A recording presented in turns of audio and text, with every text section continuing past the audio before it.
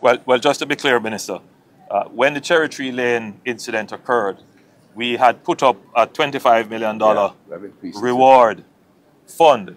We have increased that reward fund to $30 million. That fund uh, will, well, has been repurposed to deal with any of these incidents that occur, any of these multiple victim violent incidents Okay. that occur.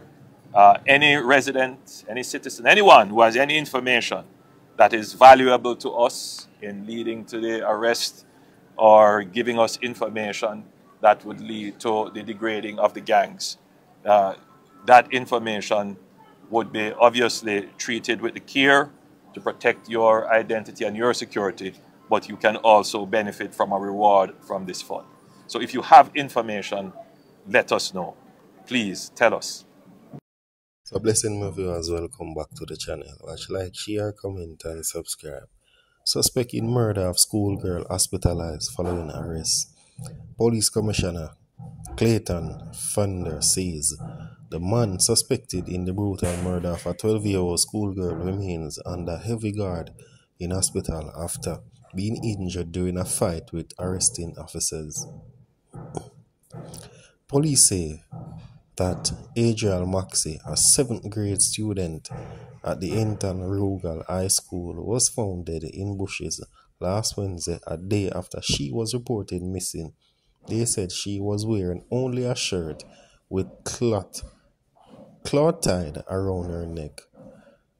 Fernander told the news conference that the child had been sexually assaulted and strangled to death. He told reporters she was not wearing a uniform and police were still trying to locate her school belongings.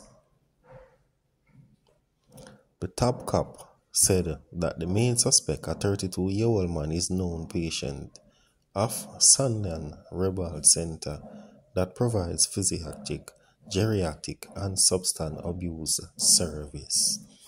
My viewers and subscribers, do continue to like, share, comment, and subscribe. So, viewers and subscribers, we get to understand that last night a cyclist, a teenage cyclist, was killed in Portmore, St. Catherine, by a bus. He was hit from his bus, his motorbike, while riding along a stretch of main road in Portmore, St. Catherine last night.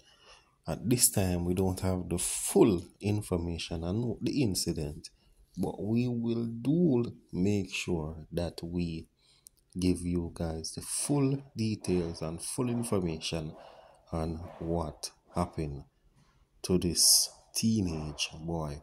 Alright, so viewers and subscribers do continue to like, share, comment, and subscribe. Hit the if you're new to the channel. Remember, watch the video to the end for YouTube recommendation.